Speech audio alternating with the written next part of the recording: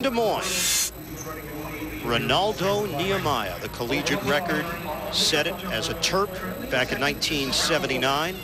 Aries Merritt, meet record for Tennessee back in 2006. And Jason Richardson from South Carolina has the best mark collegiately this year.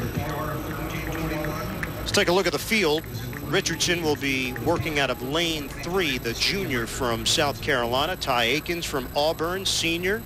Set a stadium record here yesterday, 13.25. And Drew Brunson from Florida State, senior in lane five. Well, if he was listening to anyone, Drew Brunson probably thought that all he had to do was just run the race. Now, the whole team title situation could be on his shoulders. A little bit of pressure there.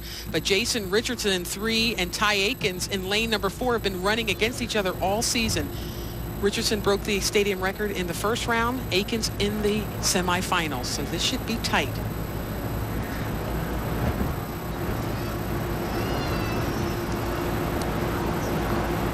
Runners are lined up. Men's 110-meter hurdles. Richardson operating out of lane three, but Ty Akins from Auburn with an excellent start in lane four.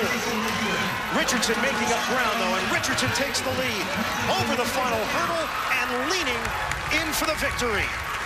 Jason Richardson from South Carolina gets the win. Drew Brunson has done enough for Florida State, and the Seminoles are once again national champions for the third year in a row.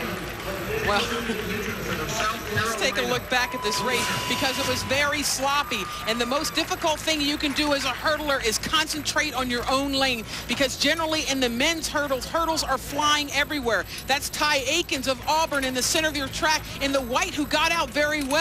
Jason Richardson on the right side of your screen trying to come back, but Akins hits a hurdle there, hits another hurdle there, allowing Jason Richardson back in the race. And Drew Brunson on the left side is just struggling just to get across the line as hurdles are just flying everywhere in this race. Amazing.